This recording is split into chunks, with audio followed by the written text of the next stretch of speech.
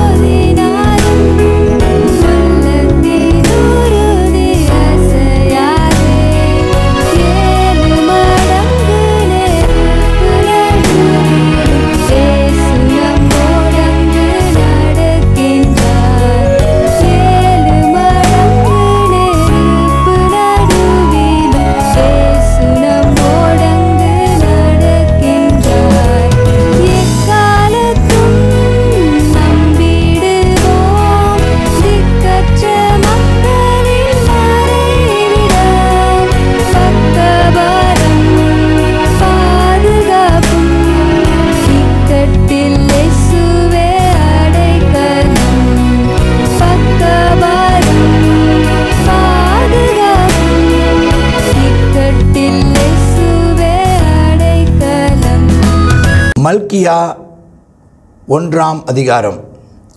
மல்கியாவை கொண்டு கர்த்தர் இஸ்ரவேலுக்கு சொன்ன வார்த்தையின் பாரம். பாரம் அப்படின்னு சொன்னால் செய்தி. அவனை அவனுடைய மன அவனை அவனுடைய மனதில் ஆண்டவர் போட்டதான ஒரு ஒரு பா பாரம் அதை தரிசனம் என்று சொன்னால் நிறைவேற வேண்டியது. பாரம்னா சொல்லணும். என்ன என் மனசை ரொம்ப பாரப்படுத்துகிற விஷயம் என்னென்னா இவங்க நடந்துக்கிறதே அப்படி அப்போ இவங்களை குறித்ததான ஒரு வருத்தம்.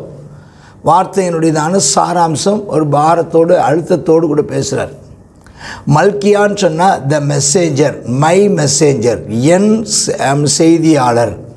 ஆமென் ஸ்தோத்திரம். என் செய்தியாளர் அப்படின்னு அர்த்தம். ஆண்டவர் மல்கியாவை கொண்டு சொல்கிறார் மல்கியாவை கொண்டு கர்த்தர் சொன்ன வார். அவனை ஒரு அவனை ஒரு செய்தியாளராக கர்த்தர் அவனுக்கு அவன் கையில் செய்தியை கொடுத்து அனுப்புகிறார் என்ன சொல்கிறாரு மல்கியா? மல்கியா வந்து எந்த காலம்னா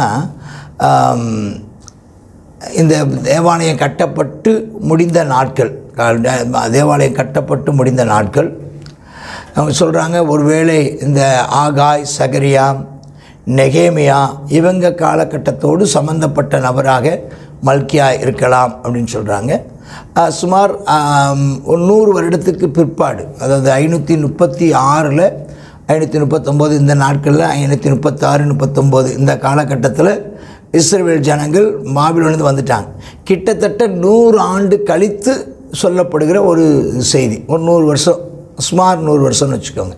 அப்போ அதுக்குள்ளே இவங்க நிலைமை எப்படி மாறுதுன்னு பாருங்கள் அப்போது இவங்களை பார்த்து ஆண்டவர் சில கேள்விகளை கேட்குறாரு. அவங்க நடக்கிற நடக்கையை பார்த்து. அவங்க சொல்கிறாரு ஆண்டவர் சொல்கிறாரு இஸ்ரவேல் ஜனங்களே யாக்கோபின் புத்திரரே நான் உங்களை சிநேகித்தேன்னு கருத்து சொல்கிறேன் அப்போ அவங்க ஆண்டவர் சிநேகித்தேன் உன்னை நான் நேசித்தேன் அப்படின்னு சொல்லும்போது அவங்க சொல்கிறாங்க எப்படி எங்களை நேசிச்சிங்கன்னு கேட்குறாங்க அப்போ கத்தை சொல்கிறார் ஏசா யாக்கோவுக்கு சகோதரன் அல்லவா? ஆகிலும் நான் ஏசாவை வெறுத்தேன் நான் யாக்கோவை சிநேகித்தேன். நான் உன்னை நான் தெரிந்து கொள்வதற்காக இன்னொருவரை இன்னொரு நான் நான் இன்னொருவரை தெரிந்து கொண்டிருக்க முடியும். ஆனால் நான் அவர்களை தெரிந்து கொள்ளாமல் உன்னை நான் தெரிந்து கொண்டேன் என்று கருத்து சொல்கிறார் ஒரு ஆப்ஷனே இல்லாமல் உன்ட்ட அன்பு கூறல. ஆப்ஷன் இருந்துச்சு. இன்னொருவரை தெரிந்து கொள்வதற்கு தெரிந்து கொள்வதற்கு பதிலாக உன்னை நான் தெரிந்து கொண்டேன். அது இன்னொரு அர்த்தத்தில் சொல்லப்போனால் நான் அவர்களை வெறுத்தேன் நான் உன்னையோ நான் தெரிந்து கொண்டேன். அவன் அந்த ஏசாவுடையதான மலைகள் பாலும் அவனுடைய சுதந்திரத்தை வனாந்திரத்தில் வலுசற்பத்தின் தாவுமாக்கினேன். ஏதோமியர் அதாவது ஏசாவுடைய வம்சத்தார். அவர்கள் எளிமைப்பட்டோம் ஆனாலும் பாலானிலே திரும்ப கட்டுவோம்னு சொல்கிறாங்க அவர் கர்த்தர் சொல்கிறாரு அவர்கள் கட்டுவார்கள் நான் இடிப்பேன். அவர்கள் துன்மார்க்கத்தின் எல்லை என்றும் கர்த்தர் என்றென்றைக்கும் சின வைக்கிற ஜனம் என்று சொல்லப்படுவார்கள். யாரை பற்றி ஏதோமை பற்றி ஏசா வம்சத்தாரை பற்றி சொல்கிறார் இதை உங்கள் கண்கள் காணும். அப்பொழுது நீங்கள் கர்த்தர் இஸ்ரேலுடைய எல்லை துவைக்கு மகிமைப்படுத்துவார் என்பீர்கள். அதை பார்த்த உடனே நீங்கள் சொல்வீங்க ஏசாவினுடைய வம்சத்தாரை நியாயம் தீர்க்கும் போது அப்போ யாக்கோபினுடைய வம்சத்தார் சொல்கிறாங்க கர்த்தர் எங்களிலே மகிமைப்படுவார் அப்படின்னு சொல்கிறார் அப்போ தேவன் என்ன சொல்கிறாருன்னா நான் உங்களை சிநேகித்தேன். இன்றைக்கும் இந்த காலையில் இந்த மல்கியா புஸ்தகத்தின் செய்தியை கேட்குற உங்களை பார்த்து கர்த்தர் சொல்கிற வார்த்தை நான் உங்களை சிநேகித்தேன். நான் உங்களை சிநேகித்தேன்கிறது எப்படி தெரிஞ்சுக்கலான்னா நான் உங்களை சிநேகித்தது என்றால் நான் இன்னொருவரை தெரிந்து கொள்ள வாய்ப்பிருந்தும் நான் அவரை தெரிந்து கொள்ளாமல் நான் உங்களை தெரிந்து கொண்டேன் என்று சொல்கிறார். அவர்களோ என் ச என்னுடைய அவன் கோபாக்கினையின் பாத்திரம் நீங்களோ என் கிருபையின் பாத்திரம் என்று சொல்கிறார். அதனால் நீ அவங்க அவங்கள பற்றி ஏன் ஏசா வெறுத்தார் ஏன் ஏசா தள்ளினார் அதை கேட்காதீங்க. ஏன் என்னை சிநேகித்தார் என்று கேள்வி கேளுங்கள். சரி அடுத்த கேள்வி. குமாரன் தன் பிதாவையும் குமாரன் தன் பிதாவையும் ஊழியக்காரன் தன் எஜமானையும் கணம் பண்ணுகிறார்களே நான் பிதாவானால் என் கணம் எங்கே? நான் எஜமானனானால் எனக்கு பயப்படும் பயம் எங்கே? என்று சேரணி கர்த்தர் தமது நாமத்தை அசட்டை பண்ணுகிற ஆசாரியர்களாகி உங்களை கேட்கிறார். அதற்கு நீங்கள் உமது நாமத்தை எதினாலே அசட்டை பண்ணோம் என்கிறீர்கள். இப்போ ரெண்டாவதாக அங்கே ஆண்டவர் ஆசாரியர்களை பார்த்து ஒரு கேள்வி கேட்குறார். அவங்க சொல்கிறாங்க ஆண்டவர் பார்த்து நீரே எங்கள் பிதா அப்படிங்கிறாங்க.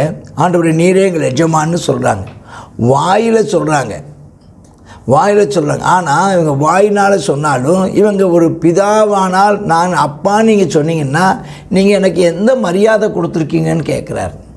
நீங்கள் எனக்கு எஜமான்னு சொல்கிறீங்களே அப்படி நீங்கள் எஜமான் என்று சொன்னால் எனக்கு நீங்கள் என்ன?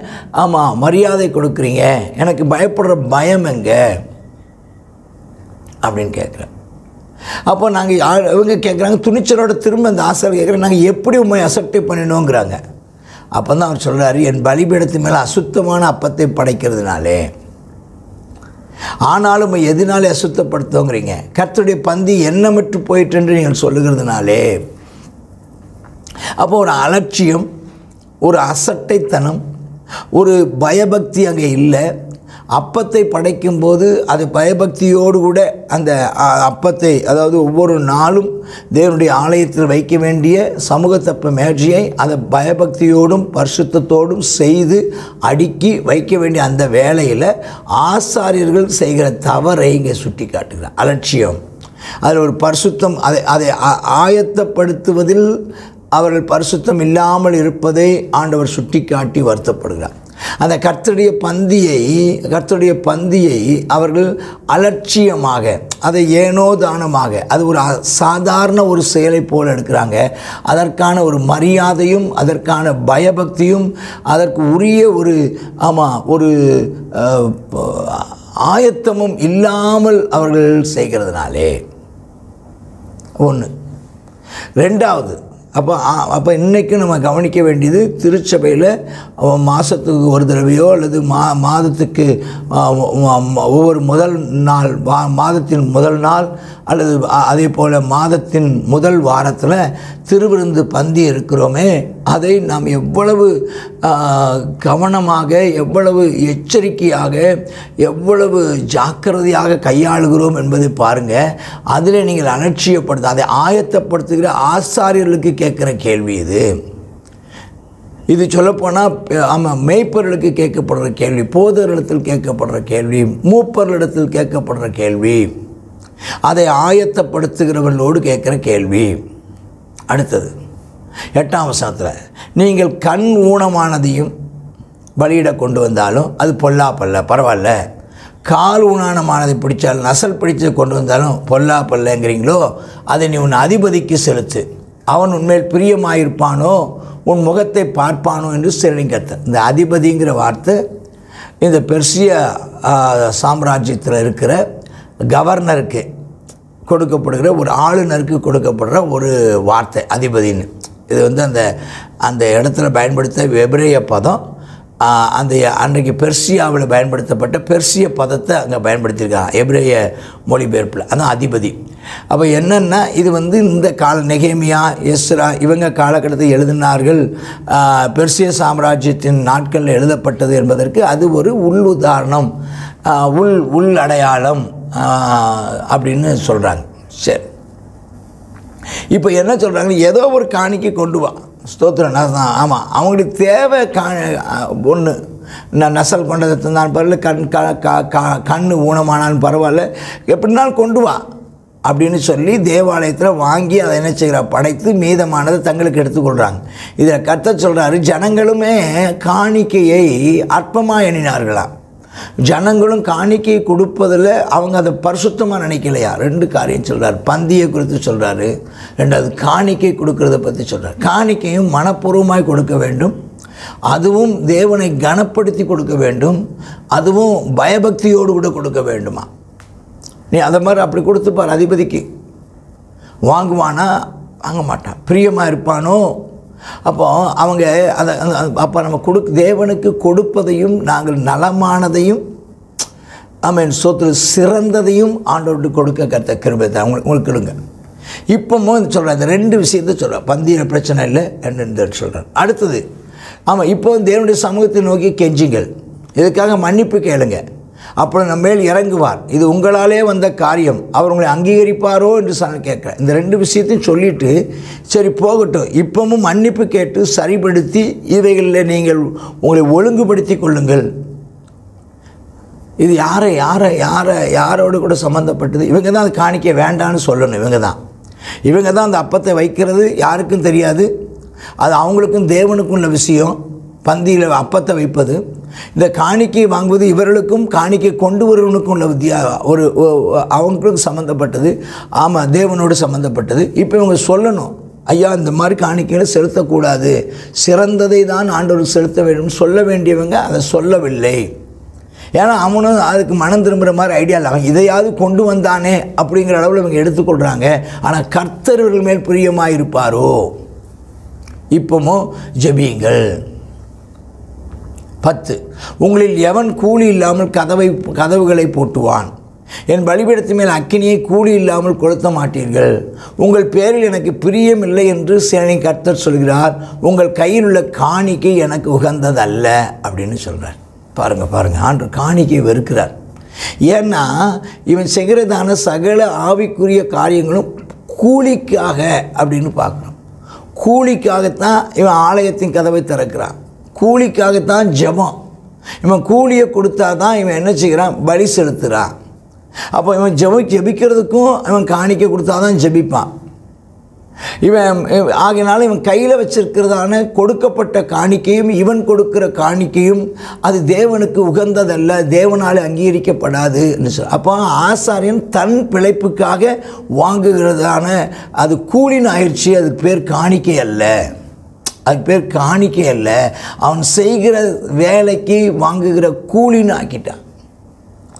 சூரியன் உதிக்கிற திசை தொடங்கி அது அஸ்தமிக்கிற திசை வரைக்கும் நாமும் ஜாதிகளுக்குள் மகத்துவமாக இருக்கும் எல்லா இடங்களிலும் நாமத்துக்கு தூபமும் சுத்தமான காணிக்கையும் செலுத்தப்படும். என் நாமும் ஜாதிகளுக்குள் மகத்துவமாக இருக்கும் என்று சேனையிலையும் கற்று சொல்கிறார் இப்போ பாண்டவரே தம்முடைய நாமத்துக்காக வைராக்கியம் கொண்டு சொல்கிறாரு கிழக்க இருந்து மேற்க வரைக்கும் என்னுடைய நாமத்தை நான் மகிமைப்படுத்துவேன்னு கற்று சொல்கிறார் என் நாமத்திற்கு சு- அவன் தூபமும் சுத்தமான காணிக்கையும் செலுத்தப்பட வே- செலுத்தப்படும் செலுத்தப்பட வேண்டும் என் நாமம் ஜாதிருக்குள்ளே பரிசுத்தமாக இருக்கும் என்று சொல்கிறார் அதான் இன்றைக்கி தேவை. கர்த்தருடைய நாமத்தை பரிசுத்த அலங்காரத்தோடு தொழுது கொள்ளப்பட வேண்டியது. ஆனால் நீங்களோ கர்த்தருடைய பந்தி அசுத்தமானன்னு சொல்கிறீங்க அதன் ஆகாரமாக என் பலன் அற்பமானதுன்னு சொல்கிறீங்க என் நாமத்தை பரிசுத்த குலைச்சலாக்குறீங்க. நீங்கள் அதில் அக்கறை இல்லாமல் இருக்கீங்க. இது எவ்வளோ வருத்தம் என்று சொல்லி அதை ஒரு திறனமாய் பேசி பீருண்டதையும் கால் ஊனமானதையும் நசல் கொண்டதையும் கொண்டு வந்து காணிக்கையாக செலுத்துகிறீர்கள் என்று சேனனையும் கற்றச் சொல்கிறார். அதை உங்கள் கைகளில் அங்கீகரித்துக் கொள்வேனோ? என்று சொல்கிறார் எவ்வளோ ஒரு வார்த்தை பாருங்கள் அந்த பதிமூணாம் வசனத்தில் ஒரு வார்த்தையை நம்ம பார்க்கும்போது பதிமூணாம் வசனத்தில் ஒரு வார்த்தையை பார்க்கும்போது அங்கே நம்ம சொல்லப்பட்டிருக்கிறது அந்த திறனமாய் அப்படிங்கிற ஒரு வார்த்தை. மல்கியாவின் புஸ்தகம் மல்கியாவின் புஸ்தகத்தில் வாசிங்க அந்த மல்கியாவின் புஸ்தகம். அதிகாரம். அர்த்தம் என்று சொல்லி அதை ஒரு திறனமாய் பேசி பீருண்டதையும் கால் ஊனமானதையும் நசல் கொண்டதையும் கொண்டு வந்து காணிக்கையாக செலுத்துகிறீர்கள் திறனமான இழிவாய் பேசி இழிவாய். எவ்வளவு தொல்லை என்று அதை பற்றி இழிவாய் பேசுகிறீர்கள் என்ற படைகளின் ஆண்டவர் சொல்றார். கொள்ளையடித்ததையும் நொண்டியானதையும் நோயுற்றதையும் கொண்டு வர்றீங்க. இவற்றை காணிக்கை என கொண்டு வர்றீங்க. உங்கள் கையிலேருந்து நான் அதை ஏற்றுக்கொள் ஏற்றுக்கொள்வேனோ என்று சொல்கிறார் அப்போ காணிக்கையும் கொள்ளையடித்ததை கொண்டு வரக்கூடாது. நொண்டியானதை கொண்டு வரக்கூடாது. ஊனமுற்றதை கொண்டு வரக்கூடாது. ஆமென் ஸ்தோத்திரம். ஆமாம் அதை அது வந்து அது ஒரு தொல்லைன்னு நினைக்கக்கூடாது. அதை ஒரு சந்தோஷமாக கொண்டு வந்தால் கர்த்தரதை ஏற்றுக்கொள்வார். இன்னொரு வார்த்தை பதினான்காம் வசனத்தில் சொல்லப்பட்டிருக்கிறது. பதினான்காம் வசனத்தில் சொல்லப்பட்ட வார்த்தை என்னன்னு கேட்டிங்கன்னா தன் மந்தையில் கடா இருக்கையில் கெட்டுப்போனதை ஆண்டுக்கு நேர்ந்து கொண்டு பலியிடுகிற கபடஸ்தன் சபிக்கப்பட்டவன்.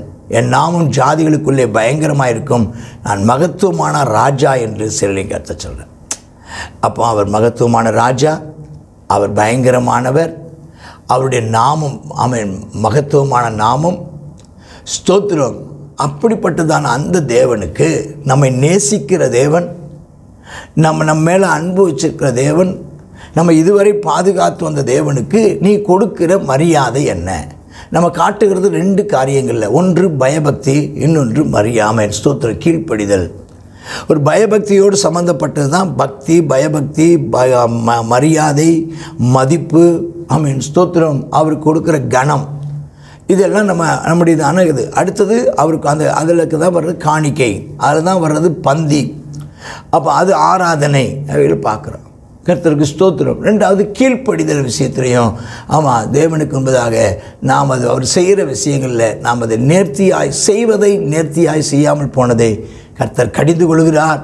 இன்றைக்கி நாம் மனம் திரும்ப கர்த்தர் கிருபை தருவாராக. அமேன் கர்த்தருக்கே மகிமை உண்டாவதாக. நாம் தேவனைக்கு பரிசுத்தமும் அமேன். சுத்தமும் மரியாதையும் பயபக்தியும் கீழ்ப்படிதலும் சிறந்ததை கொண்டு ஆராதிக்கவும் சிறந்ததை காணிக்கையாய் செலுத்தவும் கிருபை தருவாராக. ஆமேன் ஆமேன். காட் பிளஸ் யூ கத்தருடைய பரிசுத்த நாம் மகிமைப்படுவதாக மல்கியா முதலாவது அதிகாரத்தை பார்க்குறோம். முதலாவது அதிகாரத்தில் கத்தர் ஒரு சில காரியங்களை கேட்கிறார். அதில் நான் பிதாவானால் என் கனம் எங்கே? என்று சொல்லி கேட்குறேன் நான் தகப்பனானால் ஆமாம் என்னுடைய கனம் இங்கே. அப்படின்னு சொல்லி க கத்- கர்த்தர் இந்த நம்மிடத்தில் கேட்குறார். ஆமீன். அவருடையதான கனத்தை நாம் செலுத்த இந்த நாளில் நாம் முற்படுவோமா? அது மாத்திரம் இல்லை நம்ம அவரை எப்படி கனவீனப்படுத்துகிறோம் அப்படின்னு சொல்லி நம்ம கேட்குறோம். அதை இன்னைக்கு கத்தர் இதில் கேட்குறாரு. என்னுடைய பலிபீடத்தில் நீங்கள் என்ன செய்கிறீங்க அற்பமானதை பலி செலுத்துறீங்க. ஊனமானது பலி செலுத்துறீங்கன்னு சொல்லி வேதனைப்படுகிறார். அவருக்கு கொடுக்க வேண்டிய கனம் நம்ம நம்முடையதான செயலில் வெளிப்படுதுங்கிறத நம்ம பார்க்குறோம். இன்றைக்கி தேவனுடைய சமூகத்தில் நம்ம தாழ்த்துவோம். எந்த அளவுக்கு நம்முடைய பயபக்தியை நம்ம வெளிப்படுத்துகிறோம் என்பதை நம்ம இப்படி தான் நம்ம காட்ட முடியும். ஆகையினால தேவனுடைய சமூகத்தில் நம்மை தாழ்த்தி நாம் அவருடைய சமூகத்தில் நம்ம அவரை நேசிக்கிறோம் அவரை கனப்படுத்துகிறோம் என்பதை நாம் வெளிக்காட்டுவோம். அது மாத்திரம் இல்லை அவர் கடைசியாக சொல்லும்போது சொல்கிறாரு ஆமாம் ம மந்தையில் நல்ல க கொழுத்த கடா இருக்கும்போது நசல் படைக்கிறவன் அவன் கபடஸ்தன். அவன் சபிக்கப்பட்டவன் என்று. அதனால் நம்ம எப்படிப்பட்டவர்களை நம்ம அவர் கொடுத்து அவரை கனப்படுத்துகிறோம் அவரை உயர்த்துகிறோம் என்று சொல்லி நம்மை நாமே நிதானித்து பார்ப்போமா? இதனால் ஆண்டோடைய சமூகத்தில் நம்மை தாழ்த்தி ஜெபிப்போம். கத்தாவே ஸ்தோத்திரமப்பா கிருமை கிருபை இறக்கம் தானே நல்ல பிதாவே. இந்த நாளிலும் நீர் எதிர்பார்க்கிற பரிசுத்தம் நீர் எதிர்பார்க்கிற அப்பா கனம். கத்தா உண்மை நாங்கள் அப்பா எல்லா இடத்திலும் உங்களை பிரதிபலிக்கிறோமாப்பா ஆமேன். ஆண்டவர் எங்களுடைய குறைகளை எல்லாவற்றையும் மன்னியும். கத்தாவே ஸ்தோத்திரம் அப்பா. உமக்கு கொடுக்க வேண்டிய கனத்தை உமக்கு கொடுக்க நீர் எங்களுக்கு அனுக்கிரகம் செய்தரல வேண்டும் என்று சொல்லி ஜெபிக்கிறோம். பரிசுத்த பிதாவே அப்பா ஸ்தோத்திரம் ஆண்டவரே. ஆமேன். அசல் கொண்டதையும் அப்பா ஆமேன் அப்பா ஸ்தோத்திரம் இழப்பமானதையும் நம்முடைய சமூகத்தில் நாங்கள் கொண்டு வந்தோமானால் எங்களை தயவாய் மன்னியும் நாங்கள் உமக்கு முதலிடம் கொடுக்க பெஸ்ட்டானதை உமக்கு கொடுக்க. அப்பா எங்களுடைய தான் நேரத்தில் பெஸ்ட்டான நேரத்தை உங்களுக்கு கொடுக்கணும்ப்பா. ஆமேன். எங்களுடைய தானே கத்தாவை அப்பா செயல்பாடுகளில் உண்மை நாங்கள் கதாவை கனப்படுத்த வேண்டிய ஜ சூழ்நிலையில் ஜனங்கள் மத்தியில் உண்மை நாங்கள் கனப்படுத்தணும்ப்பா. கத்தாவை ஸ்தோத்திரமப்பா உண்மை கனப்படுத்தி மேன்மைப்படுத்த உதவி செய்யுங்க.